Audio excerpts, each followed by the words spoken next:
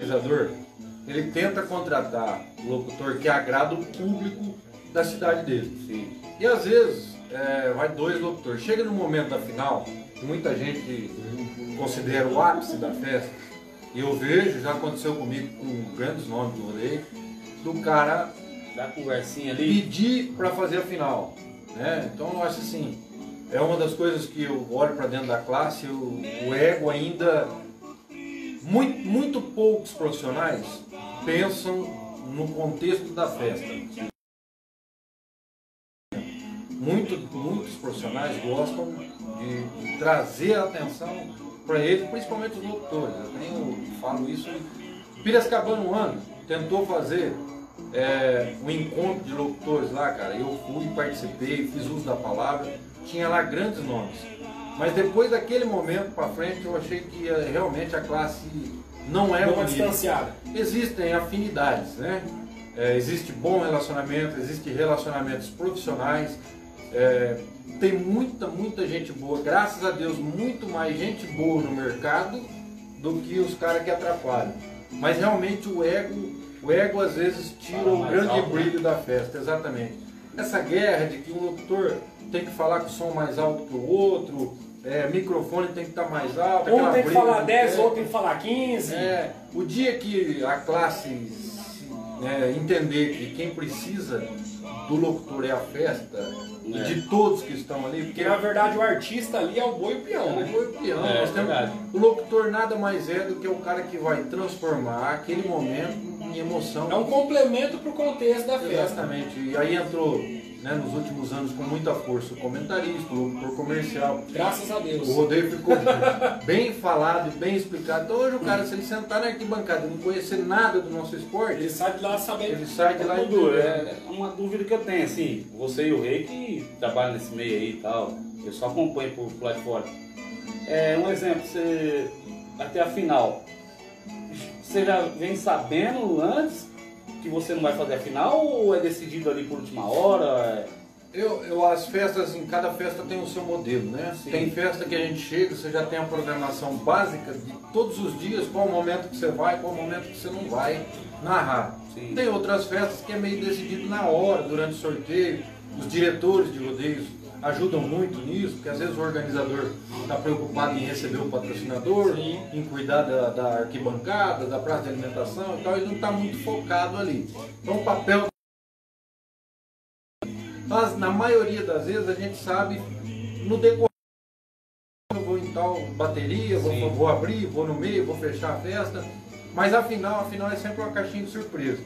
É lógico que a gente quando tromba com os grandes nomes, a gente sabe que a possibilidade deles levarem né, é, É é sempre maior e pela própria história, pelo próprio conjunto da, da obra do- do- dos caras.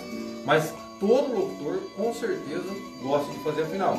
Mas eu já tive várias experiências, várias, de que a semifinal que eu narrei foi mais disputada do que a final, foi propriamente mais emocionante do que a final. Isso conta muito e eu acho que aí entra um papel importantíssimo do comentarista de construir essa história a partir da semifinal para a final, né? De como vai isso. E aí é feeling, né? Do locutor com comentarista. É uma engrenagem, né? É locutor, comentarista, comercial e sonoplasta. É. falha o rodeio inteiro. Eu acho. Um depende do outro. Não adianta um querer se aparecer mais do que o outro, falar mais alto que o outro. É, porque não adianta, um depende do outro ali. É um- uma engrenagem. O Barra Mansa tem uma frase. Quanto menos eu falo, menos eu erro. E é, é verdade. Ô Dudu, Gabriel Corandim mandou uma pergunta boa aqui. Ó. Qual, foi... Qual foi a festa que te marcou na sua carreira? É a muita. lista é grande. Mas tem algumas festas, e tem uma festa em especial que ela é muito, mas muito importante na minha carreira, na minha formação como homem, como pai de família, como profissional de rodeio. Chama-se Promissão.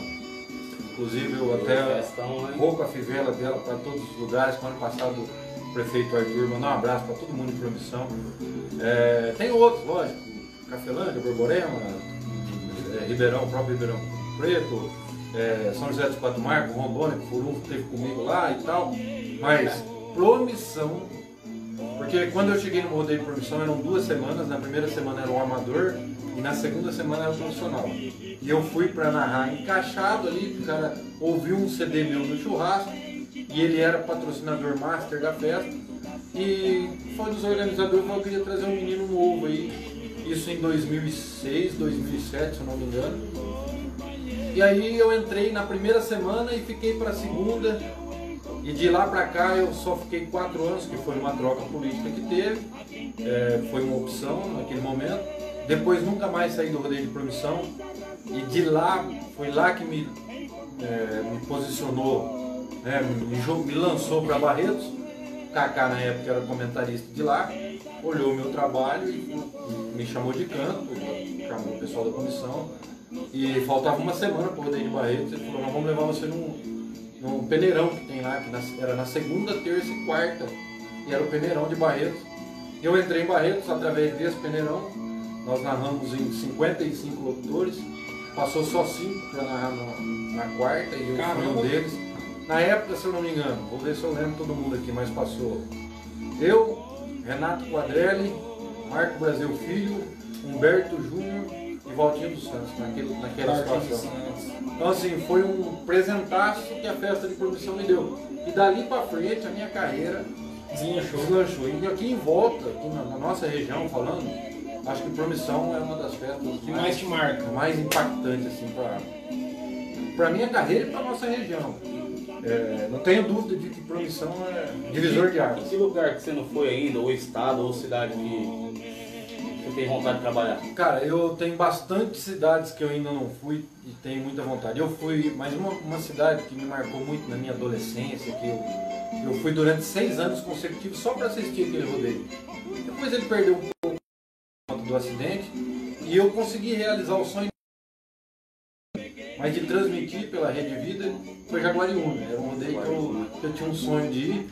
Dois rodeios, Jaguariúna e Americana, né? Sempre foram dois rodeios é, de muita importância. Um dos melhores estados de São Paulo. É, com certeza. Aí é, eu tive a oportunidade de ir lá em Jaguariúna para transmitir pela Rede Vida uma etapa da PBR, que foi uma das nossas transmissões Barretos. Então, tinha ainda de não ter conseguido. Sucesso, né? É, de não ter conseguido narrar a festa, né? Mas, já, Mas só de apresentar. Sem sombra de dúvida, é um, é um entre os três maiores do, é, do estado de São Paulo. Tem muita festa que a gente tem vontade. A gente tem vontade de ir no Colorado, né? Dessas festas Colorado. que Colorado é. E aí vai, a lista é grande. E né? falando em festa e vontade, o Marco Antônio já mandou aqui embaixo. Se Deus quiser, ano que vem tem Dudu com nós, hein, Henrique? Esse ano não deu que o dinheiro foi curto. Ah, Espera ano que vem tá com vocês de novo, viu, seu mal acabado? Nós vamos sim, não esquenta com o dinheiro com nós. Você apruma, Marco Antônio. Você trabalha na nossa região. Não tem coisa melhor trabalhar na nossa região. Né? Ah, lógico, os amigos aí. Os amigos, tudo junto. Você falou a questão da Rede Vida. Você tem um programa, tinha um programa na Rede Vida, né? É, nós tínhamos um programa lá. A gente tinha as transmissões do Rodeio de Barretos, foi algo muito, muito especial que aconteceu na minha vida também. Estava acontecendo a festa do Peão de Barretos e um ano foi convidado a transmitir. A Rede Vida é de Barretos, né? A família Monteira é toda de lá. E a Rede Vida resolveu transmitir para o Brasil inteiro em canal aberto a, a, festa do Peão de Barretos. No primeiro final de semana foi o Johnny Barreto, Elinho Paraíso e tal, e eu não participei da, naquele momento. Eu terminei as minhas, os meus trabalhos na quarta-feira pela Liga Nacional e eu já vim embora para voltar só para assistir no final de semana. Quando o diretor da Rede Vida, junto com o Johnny Barreto, o autor, é, me convidaram para fazer parte de um quadro do programa no sábado, é, do, do, na transmissão do Barretos Internacional. Quando eu recebi esse convite, eu fiquei, entrei em choque, né? Que era Rede Vida, canal Já um gelo na barriga, né? Mas eu falei, se, se, se, me convidaram é porque acho que eu preciso estar lá, né? Tem capacidade para ir. É, aí enfrentei, fui lá, fui para participar um bloco, participei o programa inteiro no sábado e voltei pro domingo. E dali já saí com o contrato assinado para o ano seguinte e depois foi, foram quatro, quatro ou cinco anos de transmissões com recorde de audiência, foi assim, era, era algo maravilhoso. Foi onde eu conheci o Odair, que é o diretor da Rede Vida, e depois, posteriormente, lá no estúdio, eu conheci o Juliano César, cantor. né, que faleceu no final do ano. Mais uma grande perda aí para a música sertaneja. É, esse 2019, 2020 foram anos de grandes perdas, né? Recentemente, Durval e Davi perdemos. E o Juliano foi um, um, cara que o mundo do rodeio me deu de uma maneira muito especial, porque aí nós, ele começou a me convidar para ir no programa dele falar um verso, contar uma história, uma entrevista. E aí as coisas foram fluindo na Rede Vida. E aí eu comecei a participar com mais frequência dos programas do Juliano César. E aí eu comecei a fazer as, as ação de marketing com ele e tal. E a gente tinha um projeto muito bacana para esse ano, que é os 15 anos meu de arena. Mas Deus quis que o Juliano fosse cantar lá no céu. E aí a gente vai tentar dar andamento nisso lá na Rede Vida. O projeto está vivo, né? O projeto se manteve. É, se manteve, a produtora já gravamos algumas cabeças e tal, mas por conta da perca do Juliano, posteriormente a pandemia deixou todo mundo Travou certo, tudo, né? a gente ficou. Mas o projeto existe. Eu acho que vai agregar muito. Se Deus quiser, vai acontecer em breve, né? Vai, vai. E vai agregar muito para o nosso esporte, porque eu acho que o nosso esporte já tem o Brasil Rural TV, que é um, uma grande potência, né? É, e, e leva muita informação. Acho que o Ney Macedo um cara diferente. Faz um trabalho perfeito, faz um trabalho perfeito. Agora, inclusive agora também com essas lives que ele, que ele faz com alguns profissionais é, do rodeio explicando o que está acontecendo, né? vários programas. Então eu acho assim, tudo que é bom para o esporte, eu, a gente tem que reconhecer e apoiar, né? Com certeza. Um bate-papo como esse aqui, para nós é muito importante, para nossa região, para o nosso esporte, para todo mundo, todo mundo inteiro está levando um pouco das histórias que acontecem nos bastidores do poder. Elevar um pouco a nossa categoria, né? Nossa emoção. Tem, nós temos um público muito específico e muito apaixonado, né? Sem dúvida. Então, acho que cada, cada canal que, que é criado hoje, cada informação que chega, cada ponto de vista que é colocado, se for filtrado e, e as pessoas absorverem, conseguir colocar em prática, nosso esporte vai crescer cada vez mais. Cada vez mais. Vai passar esse momento difícil nós vamos voltar E é o esporte que muita gente não sabe, mas é o esporte que mais tem título mundial hoje é o rodeio. É o rodeio. Você vê a, a expressão é, daí, né? É, é o que mais tem título mundial. 10 ou 11, né? 10 ou 11, né? Ô, Dudu, Bruninho Roseta, você conhece essa, essa, figura essa lacaia? Faz tempo que eu não vejo esse boiadeiro. Mandou um abraço pra você aqui, ó. Bruninho, um grande abraço. Tive o prazer de trabalhar, de fazer pista pro Dudu, cara bom de mexer. Obrigado, Bruninho. Bruninho. Fabrício Braga, boa noite, Fabrício. Lourdes de Oliveira, boa noite, meninos. Deus abençoe Você vocês. Já estava preparado para falar outra Lourdes, né? Ela já mandou, já comentou aqui também. também. A Lourdes está com nós toda semana. É assistindo nossa live. Gente, você que vai entrar na nossa live, já vai compartilhando, tá? Já vai. Compartilha aí, gente. Compartilha aí para dar uma força aqui, Giovana Pates. Mandar um abraço a um cara especial aqui antes que eu esqueça, senão ele vai me, depois me, vai me multar.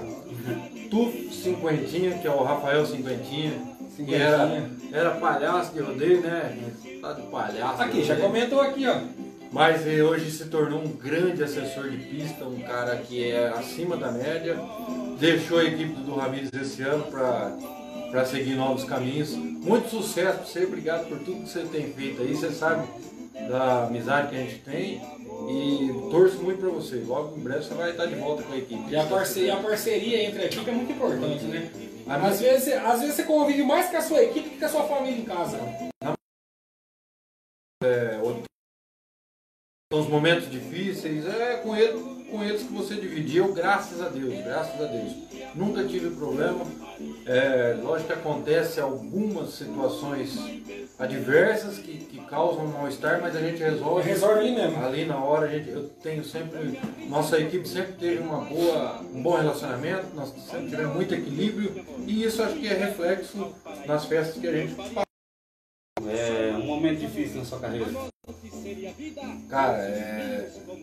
profissional foram bastantes, né? Os desafios das finais, de estar em grandes eventos, mas eu tive um momento muito, muito difícil, eu me emociono até de falar. Foi quando em 2014 eu casei em 2013 e logo que eu casei minha esposa engravidou. E eu tinha, era um ano muito importante, assim, né? De rede vida, de, de eventos grandiosos. E minha filha nasceu prematura, né? Então minha, minha esposa teve uma doença bem rara que é chamada. Ela começou com uma eclâmpsia, depois virou uma pré-eclâmpsia, e aí veio uma síndrome de HELP. É doença aí depois vocês podem procurar na internet, para a galera despertar interesse. Mas é uma história legal que eu gosto de contar, porque assim, é uma vitória, realmente foi um grande ensinamento na minha vida. E essa síndrome de HELP, a, a, mãe, ela sofre uma pressão arterial muito grande, é preciso retirar a criança. 31 para 32 semanas, era um bebê muito, muito pequeno ainda, né? Nasceu com 1,6 kg. E a grande dificuldade foi que a mãe ficou em Penápolis, no hospital. A cirurgia foi feita muitas pressas. E a menina veio de UTI móvel, eu acompanhei dentro da UTI móvel. E a menina ficou em Araçatuba, internada, né? Ela permaneceu por 33 dias lá. Minha esposa só foi ver a filha depois de sete dias de nascida. Então tudo isso causou um transtorno psicológico Nossa. na mãe Imagina. muito grande. E a gente ali do lado de fora tendo que ser pilar de sustentação. Tem que apoiar, né? os, dois apoiar os dois lados, apoiar sogro, sogra, meu pai, minha mãe, a família toda envolvida. E é difícil, né? Graças a Deus o WhatsApp, né, naquela época ainda era uma novidade recente, assim, e os grupos, né, a gente postava lá e vinha oração de tudo quanto é lado. E foi um período que a gente, assim, que eu tive que me desligar da, da arena. Eu perdi grandes aldeias naquele ano. Eu não fui em Borborema, eu não fui em Novo Horizonte, eu não fui no Mato Grosso, eu não fui na Rondônia. Eu tinha festa em Goiás. E naquele ano eu tive que fazer uma opção na minha vida que era me ausentar das arenas. E aí eu até naquele momento falei, ah, acho que eu vou desistir. Eu fiquei oito meses